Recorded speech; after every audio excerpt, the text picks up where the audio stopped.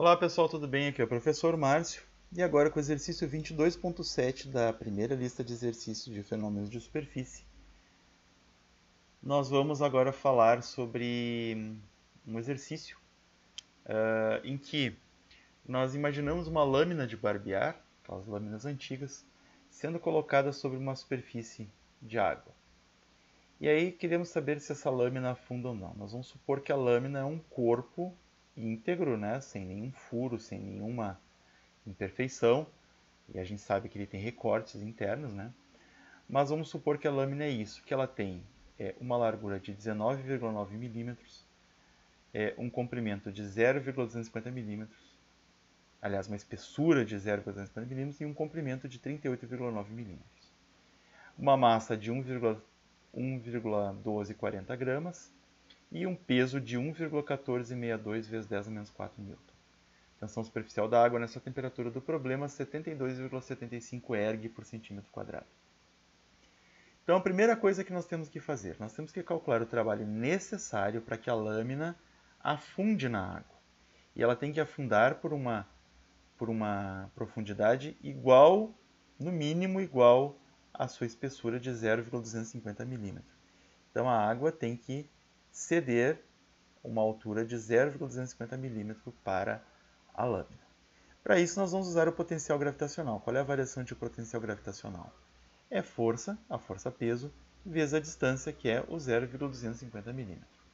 Então, eu coloco aqui a força-peso, coloco aqui é, a distância, o ΔH, né, e calculo o potencial gravitacional, a variação de potencial gravitacional para que a lâmina realize esse movimento de afundamento, como 2,865 vezes 10 a menos 8 Joule.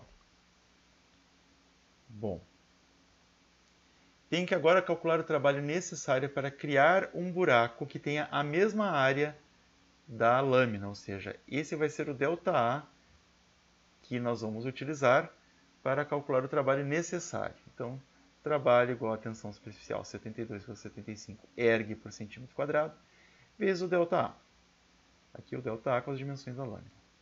Bom, numericamente isso rende 5,63 vezes 10 a menos 5 joule de energia. Então, esse é o trabalho necessário para expandir a área da água que a lâmina vai ser depositada sobre por esse valor de área. Então, o trabalho é 5,63 vezes 10 menos 5 Joule. Bom, com o peso que a lâmina tem, né, a lâmina ela exerce uma energia de 2,865 vezes 10 a menos 8 Joule.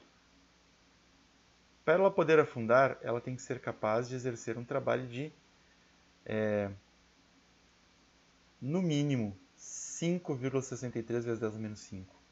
E ela só consegue exercer 10 a menos 8. Ou seja, ela realiza um trabalho na, no mínimo umas mil vezes menor, 10 a 3 vezes menor do que o trabalho necessário para criar essa área sobre a superfície. Então, a, a lâmina não vai afundar. Ela precisaria, relembrando, fazer um trabalho de 5,63, 5,63 vezes 10 a menos 5 joule, mas ela só realiza um trabalho de 2,865 vezes 10 a menos 8 joule. O trabalho que ela é capaz de realizar é mil vezes menor e, portanto, a lâmina flutua sobre a superfície. Bom, então aqui eu vou argumentar mais detalhadamente. Para que a lâmina funde, o trabalho para abrir um buraco de altura 0,25 milímetros, deve ser é, o trabalho gravitacional deve ser maior ou igual que, que, o trabalho de tensão superficial. E a gente sabe que ele é menor, então ele não consegue fazer isso. Ok? Então a lâmina vai flutuar. Eu faço um exercício aqui, eu pergunto para quanto que a tensão superficial da água deveria ser reduzida para que a lâmina afundasse. Então, para que a lâmina afundasse, o valor de tensão superficial teria que ser 2,865 vezes 10 a menos 8 joule, ou seja, o, o valor da, da energia gravitacional, né, do potencial gravitacional. Então, com esse valor de trabalho de expansão de filme, 10 a menos 8 joule, e com essa área que a lâmina tem, qual seria o gama que a água deveria ter? 3,617 vezes 10 a menos 5 Newton por metro. E como é possível diminuir a tensão superficial da água? Adicionando uma substância que faça com que ela se espalhe mais facilmente, aumente a sua área mais facilmente. Um tensoativo, por exemplo, uma gota de detergente.